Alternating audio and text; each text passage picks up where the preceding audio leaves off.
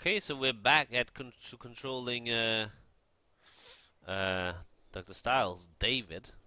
I guess. Let's look around then. That bed has been in this house for centuries.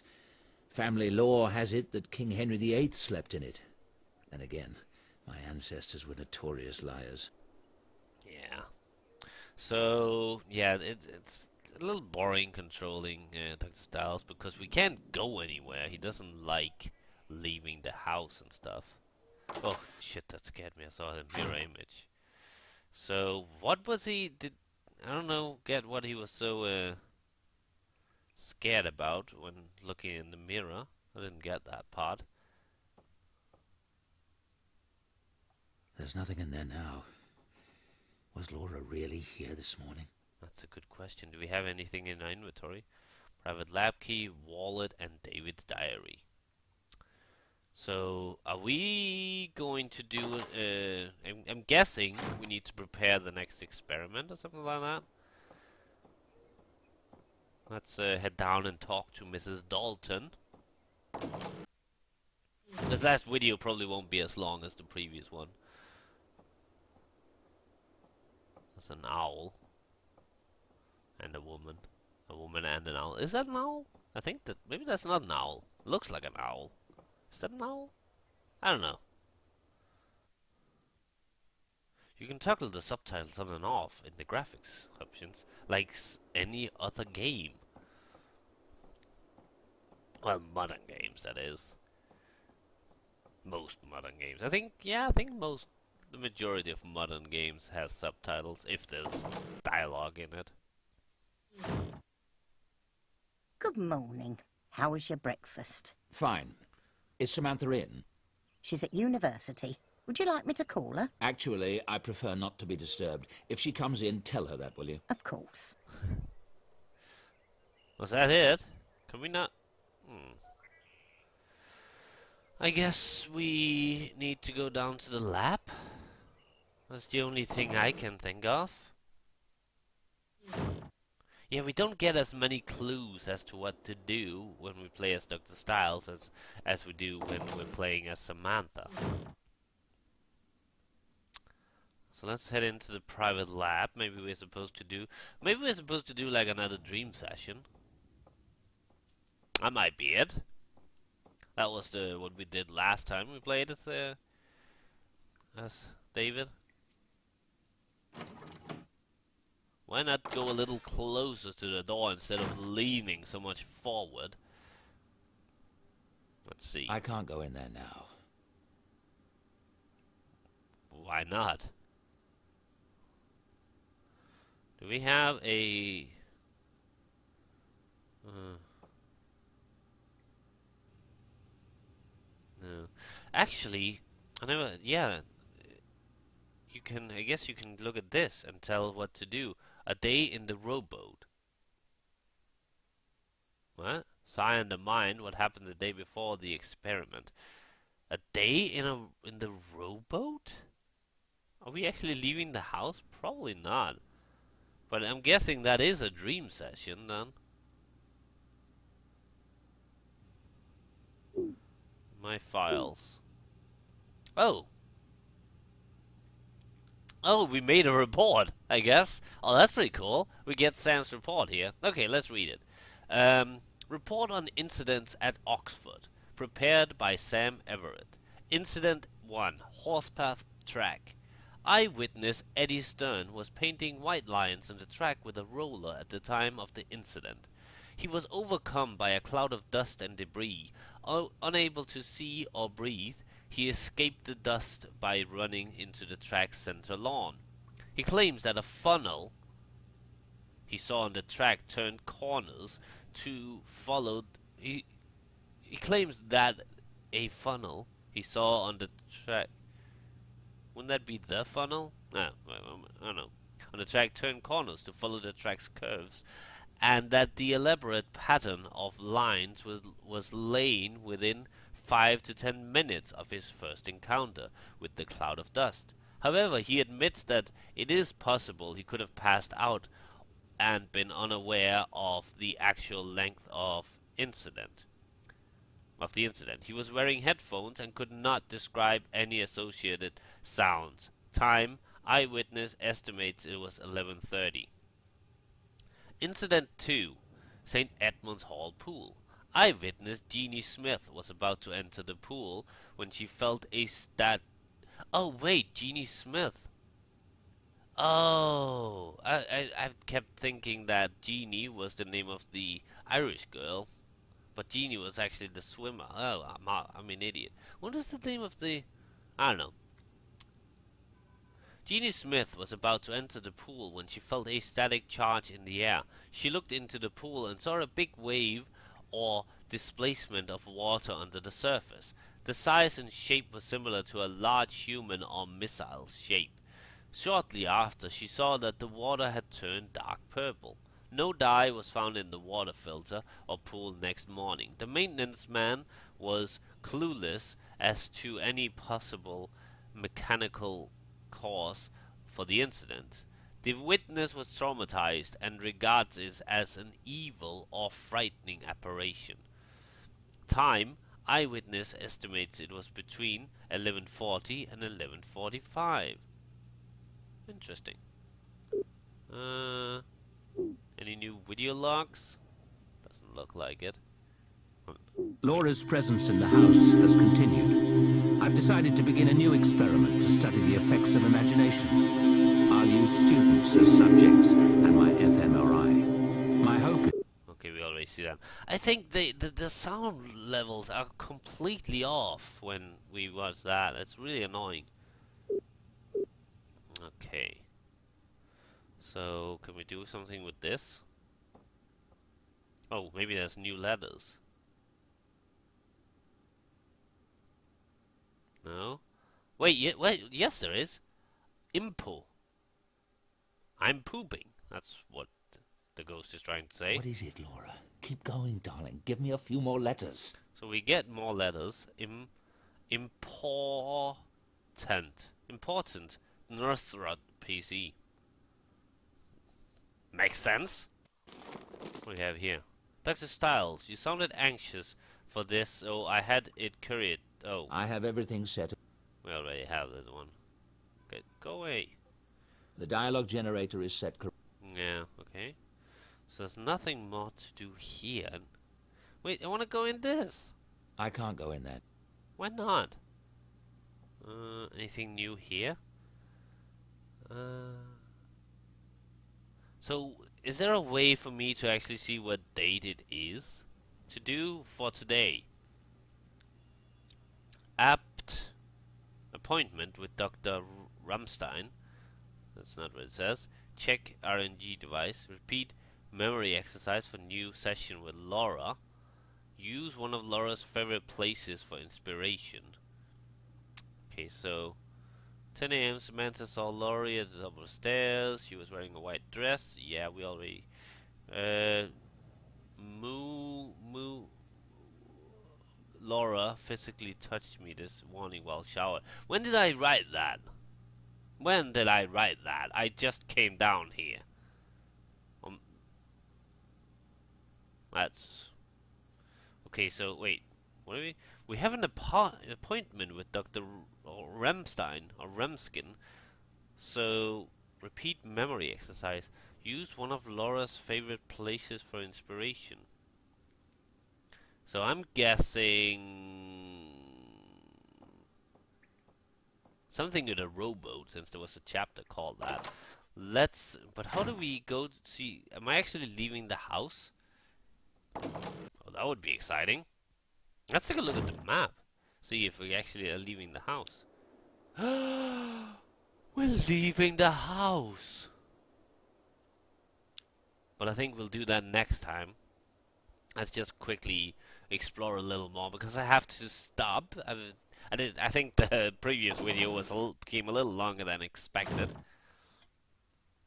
Let's look at through some of the uh, photos and see if we can find a picture that. Uh, There are sufficient funds in there at the moment. oh, that wasn't the photos. These are the photos.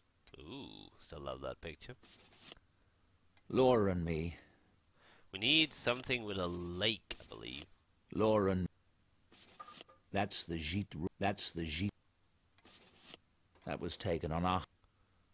Laura and me. She hated me for taking this one. I love you for taking that one.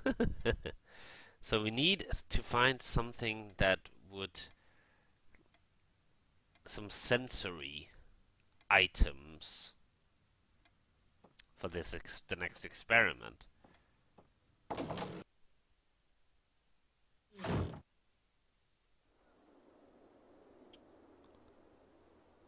Maybe let's go into the closet, see if we can find. Can I not? I want to go in here. Spare rooms. I keep them locked. I mean, Snoop in Sam's room. Sam's room. She's probably not here, as usual. He's a very complaining man. It sounds like he was complaining about her not being here, but he actually said that he was earlier that he was glad she was not there. Uh, he's just a very negative dude. We need some sensory. Let's go find the address. This dress. Laura's dress. Ah. Could Laura herself have taken it? Now I really am going mad. Wait, is it gone? Can we? No, we can't. Uh, wow, there's nothing in here. I do believe that we... Maybe the only thing we can do is actually go to see that dude.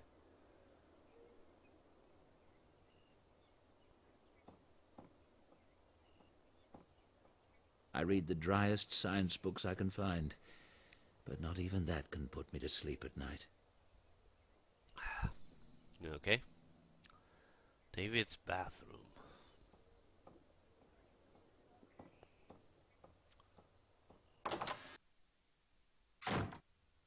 Nah, you know what? Screw it. We're going here. We're leaving the house. So he does leave, I guess. Oh, hi.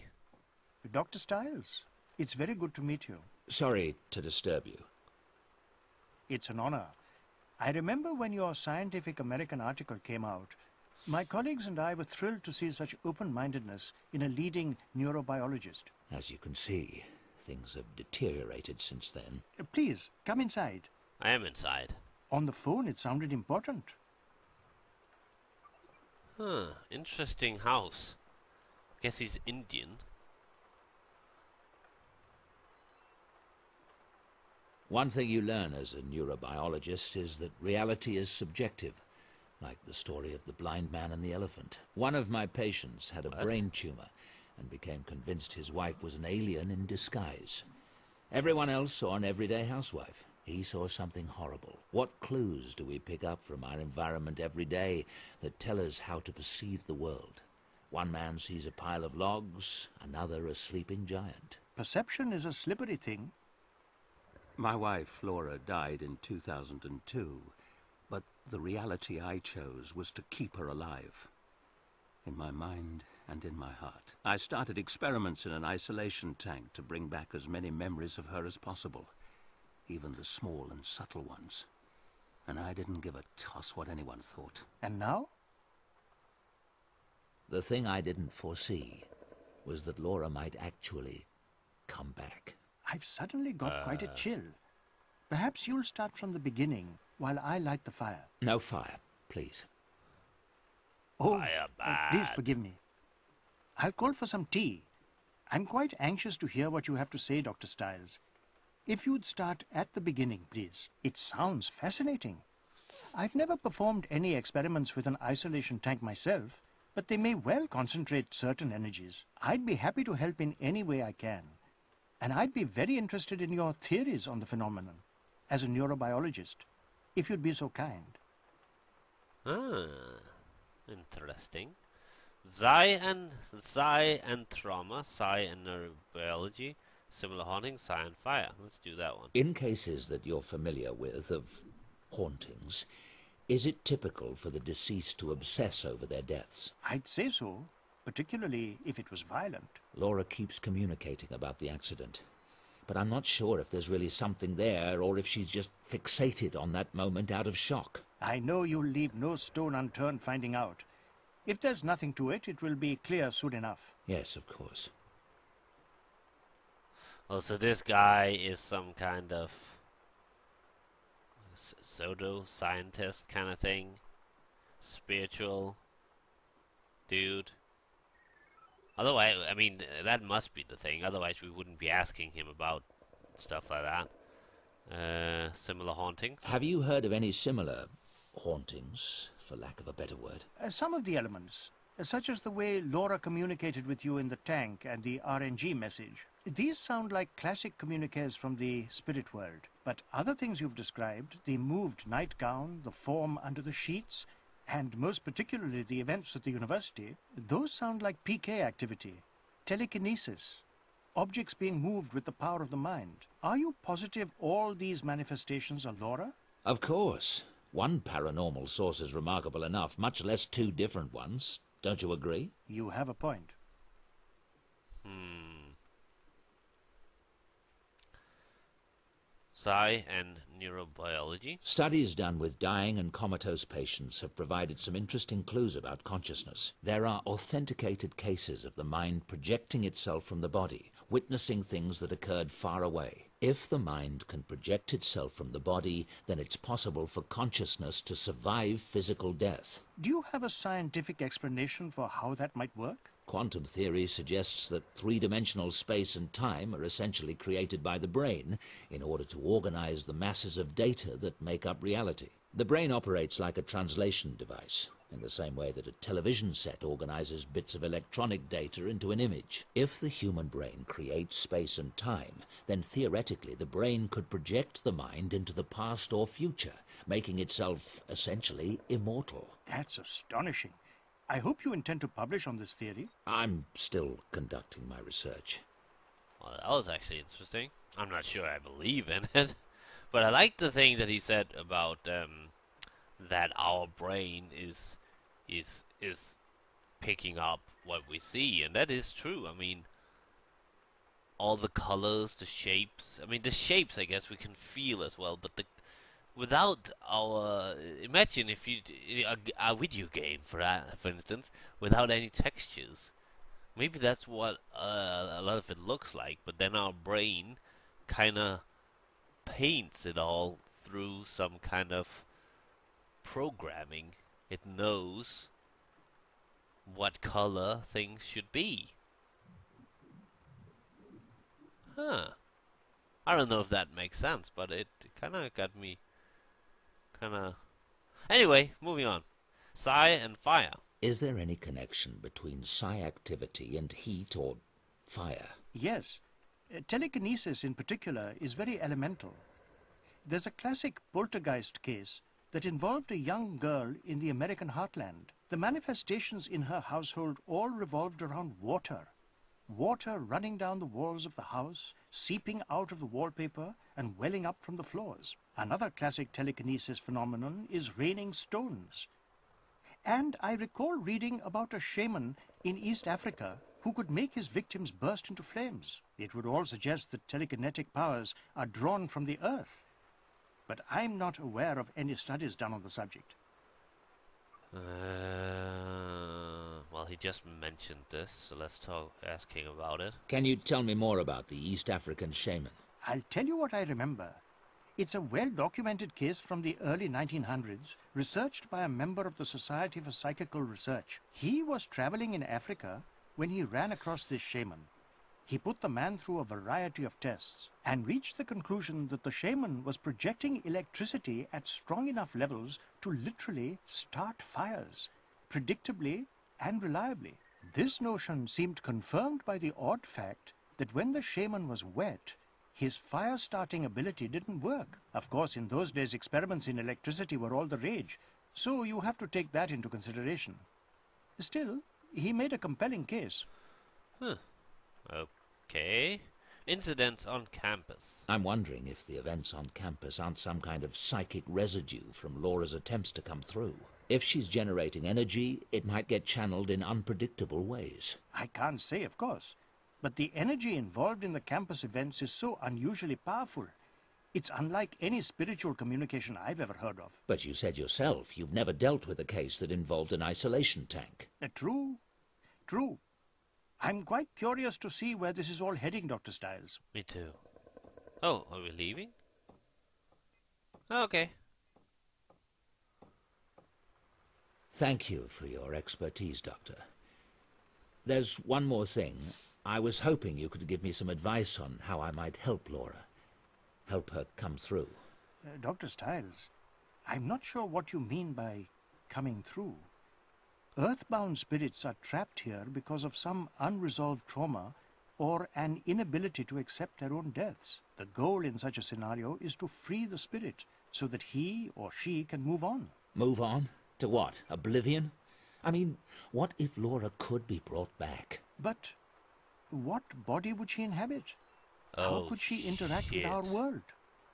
All religions believe that there is some kind of afterlife, and Yes, thank you, Doctor.